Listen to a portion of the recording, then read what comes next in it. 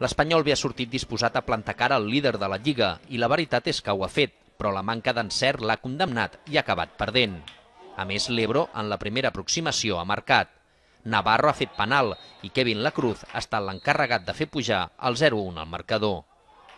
El filial ha reaccionat i ha tingut ocasions, potser la més clara, aquest xut de Rufo, que s'estavella al pal.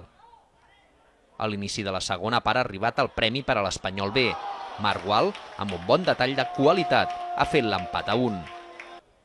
Però l'alegria blanquiblava ha durat ben poc, ja que l'Ebro s'ha tornat a avançar i ho ha tornat a fer gràcies a un penal, que ha transformat Canario.